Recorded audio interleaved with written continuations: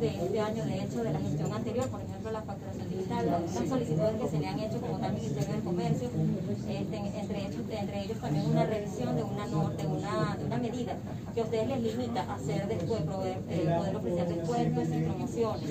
Entonces quisiera saber un poco de cara a este año 2022, que falta ya eh, un, menos, más de un, un poquito más de un mes para que ya entonces finalice el año 2022. Quisiéramos saber cuáles son las expectativas y qué es lo que se necesita, qué pide el sector comercial para el año 2022, entonces seguir recuperando. Sí, eh, en, el, en el documento justamente que van a recibir está el detalle, pero me voy a, voy a responder, efectivamente sabía que me había quedado algo pendiente que responder. En relación al 7 más 7, la aspiración del sector comercio y servicios es que superemos esa etapa. Eh, nosotros ni siquiera hemos hablado de prorrogar la flexibilidad. Nosotros estimamos que el 7 más 7 no debería regresar y no debe regresar porque tiene que ser sustituido, primero por vacunación masiva, segundo por responsabilidad individual. La gente tiene que entender que eh, eh, los contagios parten de una responsabilidad individual, vienen las fiestas en donde nos vamos a reunir familiarmente, ese es el momento que la gente baja la guardia cuando cree que está en ambientes seguros. Nosotros hemos insistido desde el principio de, eh, del 7 más 7 en que no es en el comercio o en los establecimientos de servicio donde se propaga el virus, porque allí la mayor parte de la gente tiene la guardia alta. Eh, tanto el, el, vendedor como el comprador al entrar en un establecimiento tienen y guardan las medidas de bioseguridad. El contagio ocurre cuando nosotros bajamos la guardia, cuando estamos en ambientes que creemos seguros.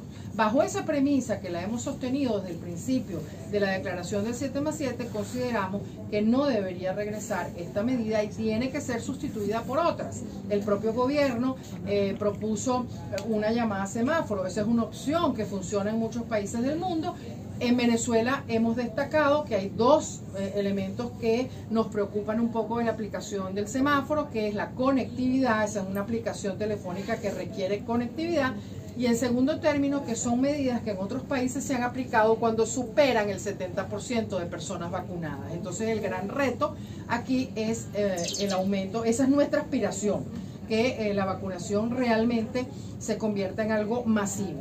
En cuanto a, lo, al, digamos, lo, que significa, y, hemos insistido en el tema de la factura digital, en ir hacia eso, no olvidemos que hubo un cambio en el Ministerio de Comercio. Nosotros teníamos muy avanzadas las conversaciones con la ministra anterior. En este momento hemos solicitado la audiencia eh, que, que, se ha demorado un poco estimamos nosotros en, sernos concedida, esperamos que en los próximos días ocurra, porque es necesario de alguna manera, bueno, nosotros asumimos que de una de una gestión a otra hay transmisión, hay de alguna forma una... Pero bueno, quisiéramos nosotros recapitular los asuntos pendientes en donde eh, la, factura digital es uno de ellos. En cuanto al tema de las promociones, también creemos que es importantísimo, depende de eh, industria y comercio, de, de comercio, perdón, es importantísimo que empecemos a revisar todo el marco regulatorio de las promociones y descuentos.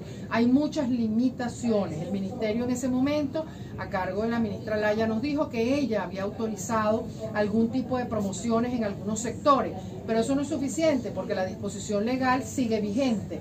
Entonces es necesario o derogarla o modificarla. Nada más que para que nos demos una idea, existe en Venezuela en este momento una prohibición expresa de emitir cupones electrónicos. Los cupones electrónicos, eh, desde el punto de vista de promoción, es un mecanismo interesantísimo y muy usado en gran parte del resto eh, del mundo y es bueno un establecimiento que tiene en la base de datos su información le manda a su dispositivo móvil un cupón electrónico de descuento y eso genera por supuesto eh, valor de marca, eso genera lealtad a la tienda, los clubes de lealtad tampoco están permitidos en este momento, fueron medidas de prohibición que se generaron cuando algunos establecimientos daban cupones como vueltos cuando teníamos el problema de la forma de dar el cambio en las transacciones. Pero eh, es una medida que debería ser levantada porque eso dinamizaría un poquito más el, el movimiento comercial. Creo, creo que les respondí. Señora, Señora, yo quería ¿cuántos trabajadores del sector